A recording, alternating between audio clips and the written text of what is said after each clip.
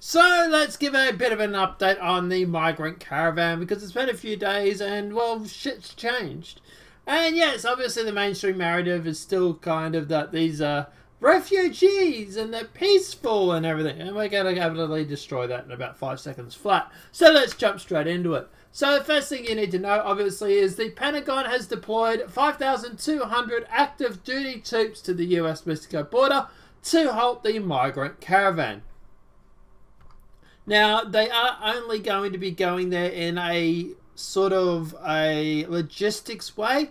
Um, so they're not going to be going there to shoot the invaders. Not saying I oppose or, or agree with that. Just saying, putting it out there.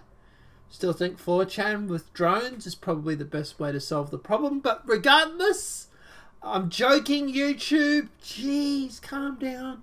But yeah, obviously, at the end of the day, just one week from the midterm elections, the Pentagon will deploy at least 5,200 active duty troops to the US Mexico border in an effort to prevent members of a migrant caravan from illegally entering the country, the Department of Defense announced on Monday.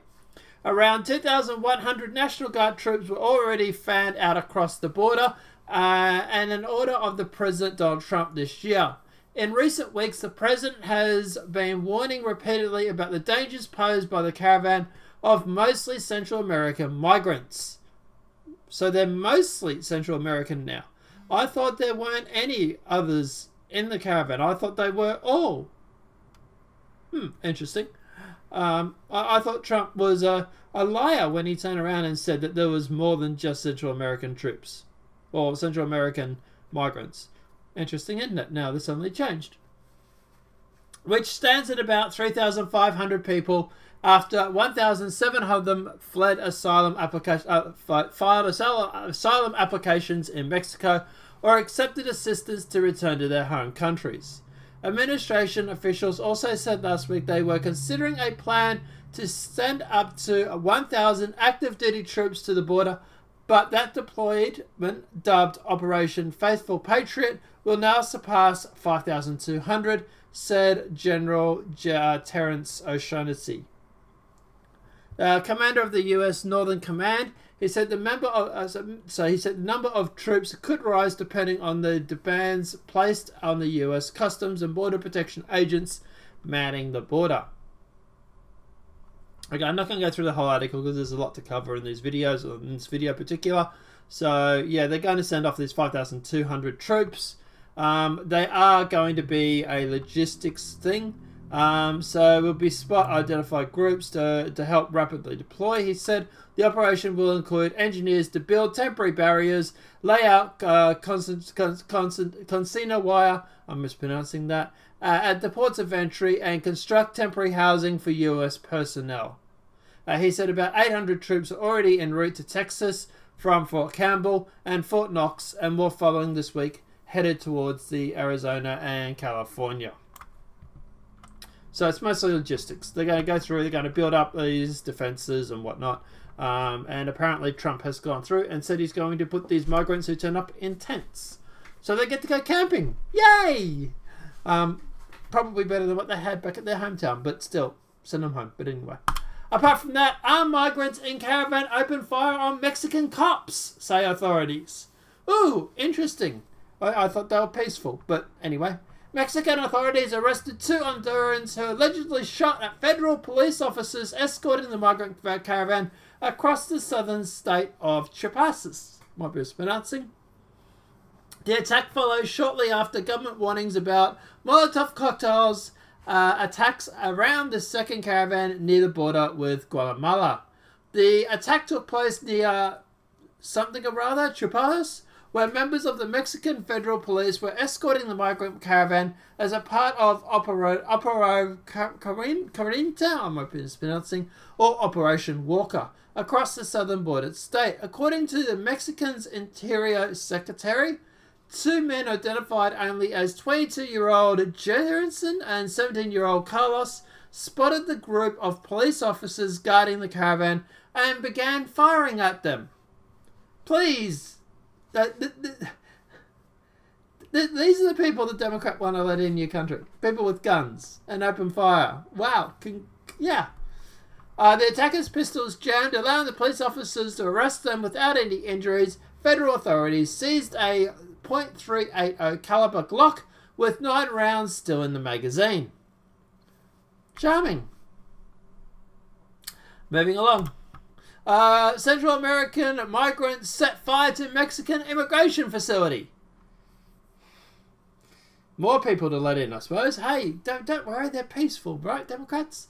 A group of Central American migrants facing, uh, facing deportation set fire to a Mexican immigration facility in an apparent attempt to escape. The alleged arson comes at a time when Mexican authorities report the use of firearms and Molotov cocktails within the migrant caravans as they make their way through Mexico to the United States. Charming. So there's that. Uh, Mexican, uh, so Mexican state reportedly providing charter buses to drive migrant caravans closer to the US border. So obviously one of the lovely narratives the mainstream media is pushing is that these people are walking there. Don't worry, they won't be here for a few months. And so you start seeing footage of them on flatbed trucks and being chartered with buses. And then you realise, oh shit, they're actually going to be here sooner. But anyway, moving along. The migrant caravan, originated from Central America, reportedly has a new method of reaching the US border with Mexico professional charter buses. Who is paying for this? I really wonder. Do we have to ask? Fox News reporter uh, Griffin Jenkins reported Tuesday from Mexico that thousand strong migrant caravan is now being chartered to the US border by tour buses. Jenkins showed multiple professional buses lined up and a bordering migrants to take them onto their next destination on the path to American border. Something new that's developing here, Jenkins said as he warned, uh, warned the bus loading, uh, sorry, wandered the bus loading zone. We've seen 5,000 strong caravan walking towards the border, but now they're waiting for a ride to the border. This is the first time I've seen an organised bus operation from the state of Oaxaca, I might be mispronouncing, originally getting volunteer buses, but put uh, buses to put people on them and then take them to their next location. Getty Images has previously shown a migrant caravan travelling by raft and flatbed truck. There's the truck there. Jenkins said that this is a reversal from the previous Mexican policy of attempting to dissuade the caravan from reaching the US border. Jenkins said that more buses were coming to pick up the migrants, but could not be determined whether the buses were coming from or who were paying for them. President Donald Trump has sent more than 5,200 troops to the border. We know who's paying for them. His name consists of, or starts with a G and ends and, and has a S in it. Look, obviously, look, obviously, we don't know for sure. Um, but yeah, obviously, this is going to be. I, I imagine you follow the money.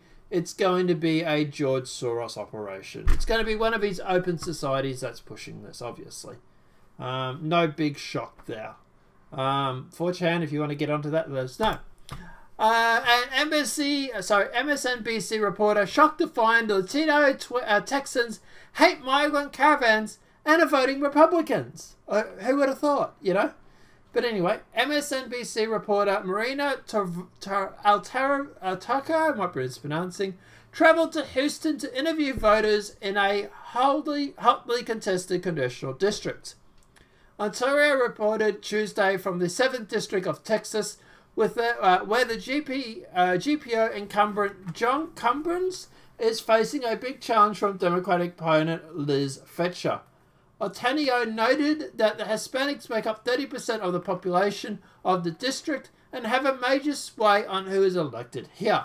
However, in the interviews with uh, Latino voters, Antonio Antonio, I'm mispronouncing that name, was stunned to find that they were voting Republican and had a bad opinion of the migrant caravan heading to the US border.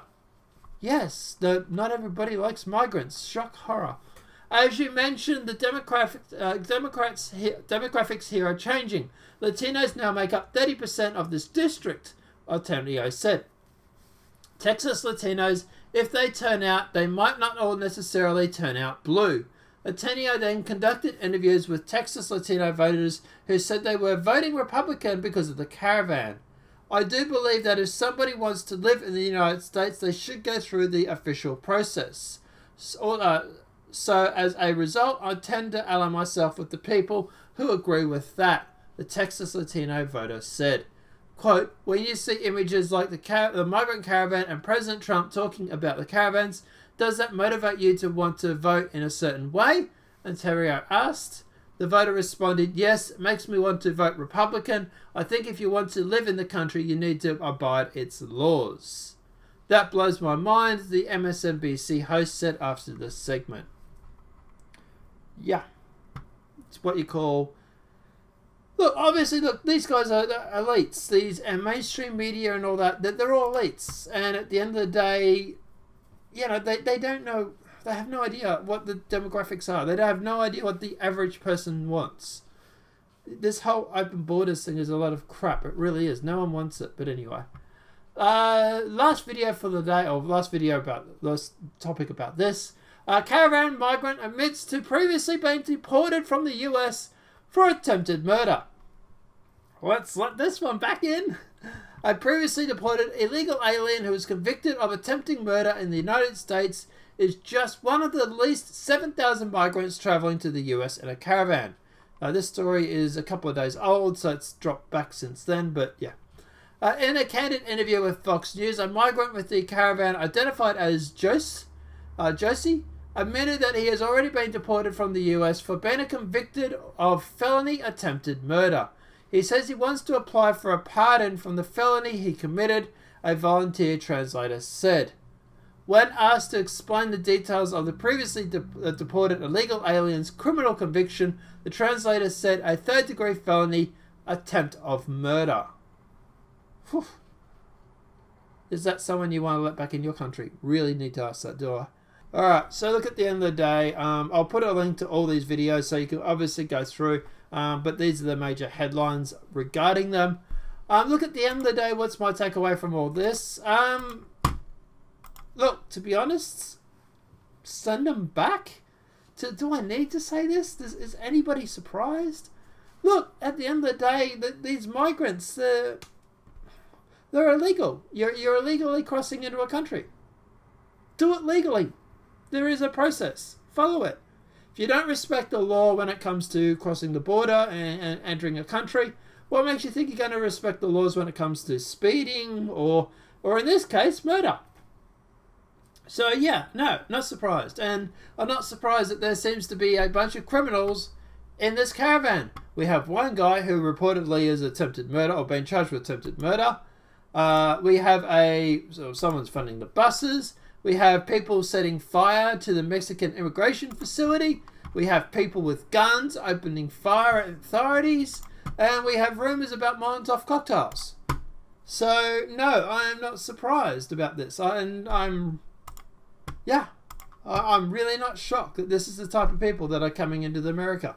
Look, let me know your thoughts are in the comment section below. What's your view on this migrant caravan? Do you think we should send them back? Do you think we should keep them? Let me know what your thoughts are in the comment section below. If this video has been helpful, please smack a like. If you're new to the channel, welcome and subscribe. Apart from that, guys, I'll see you in the next demonetized video from YouTube. Have a great night and enjoy.